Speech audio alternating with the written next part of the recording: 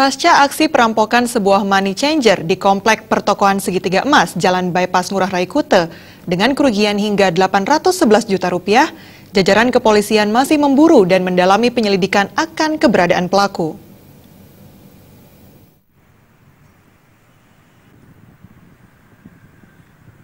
Kapolresta Denpasar Kombes Polisi Hadi Purnomo mengatakan beberapa ciri-ciri pelaku telah dikantongi baik dari postur tubuh maupun warna pakaian yang digunakan saat beraksi. Namun sayang, saat itu raut wajah pelaku belum sempat diketahui dengan jelas karena saat beraksi menggunakan helm. Hal itu diketahui berdasarkan hasil rekaman CCTV pada money changer tersebut. Meski saat beraksi, pelaku sempat mematikan server CCTV. Uh, ah, warga negara Indonesia pelaku dari hasil CCTV. Untuk yang terdeteksi adalah empat yang terdeteksi. Ya mungkin bisa lebih. Dari server di CCTV di dalam katanya dirusak dan benar? Ya, server dalam dirusak, jadi kita bisa dapat CCTV dari luar. Pakai senpi?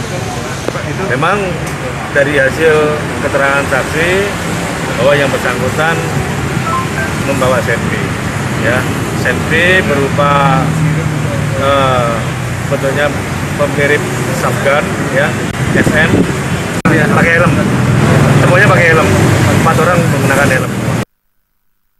Untuk saat ini, jajaran kepolisian masih memperdalam penyelidikan akan pelaku perampokan ini dengan kerugian hingga 811 juta. Apakah kelompok Garong ada kesamaan dengan aksi perampokan di beberapa tempat sebelumnya yang belum terungkap atau aksi bobol ATM?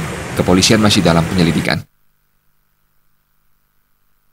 Rai Swantara Bali TV